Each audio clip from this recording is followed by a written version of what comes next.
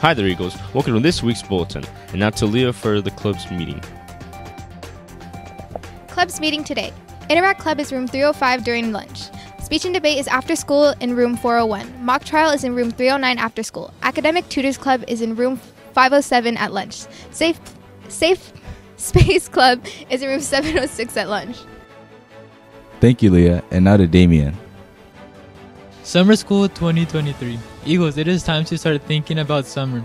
Still in need of health credit? Want to get ahead of PE? Need to make up credits? Talk to your counselor today and check out the newsletter for summer school applications. Thank you so much, Damien.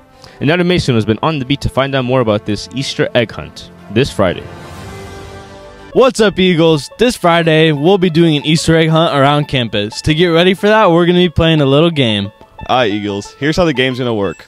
We have 12 dozen eggs, 11 of them are hard boiled, and one is raw, and we're gonna smash them on our heads. Oh my god! Joke's on you, Mr. Tally doesn't know how to hard boil eggs.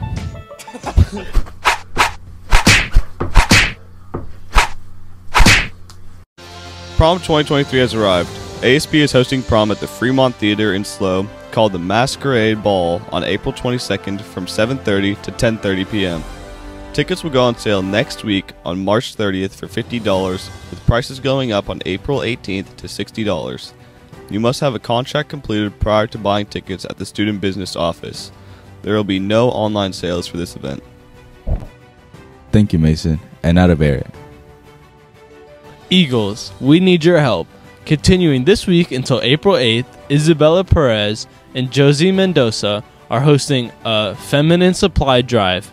Please participate in this drive to help homeless women in shelters by providing themselves with hygiene care.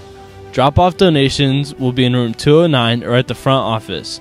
Check the flyer in the newsletter for more information on what is needed. Thank you, Barrett. And now to Austin. Vision student athletes and families, a live webinar helping to prepare for your future as an NCAA student athlete. Learn about the next steps based on your year in high school and how the removal of standardized test score requirements may impact your eligibility experience. Join us on Sunday, April 30th from 3:30 to 4:30 p.m. Scan the QR code here to sign up today.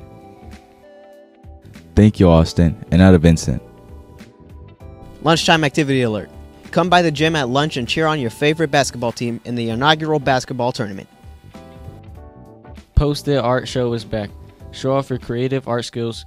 We will accept any style of art, but be sure to keep it positive and school appropriate.